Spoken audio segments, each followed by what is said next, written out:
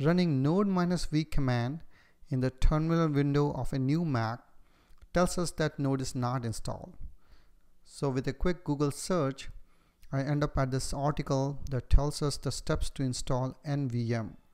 Now NVM is a package that helps install and run multiple versions of Node.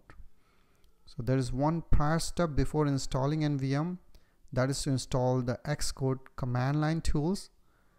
So here they have the command to do that. So I copy this and paste it in my terminal window. I wait for the software to be installed. Once it is installed, I can then use this curl command to install NVM. The article also links to the GitHub page from where we can get the command to install the latest version of NVM. So I choose that.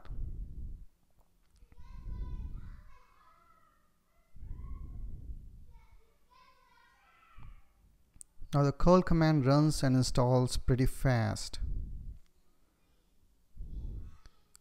However, if you notice, there's a small issue at the end. The path to NVM is not recognized.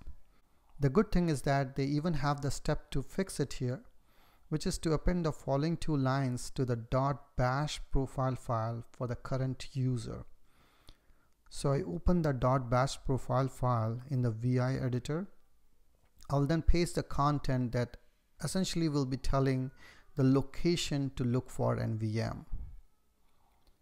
So once I paste it, the VI commands escape colon and then WQ saves the file. One more important step is to reload the bash profile, which can be done by just typing dot followed by the file location. Now if I type NVM, I see some result which means it is installed and working. So the next step is to install the version of node that I want. So I type nvm install followed by the version of node.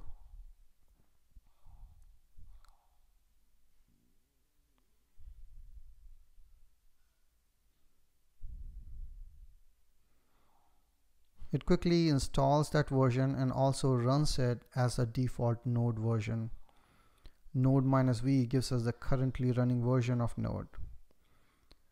Just to make sure I open a new tab and run node minus v there as well and it confirms that node is installed and working.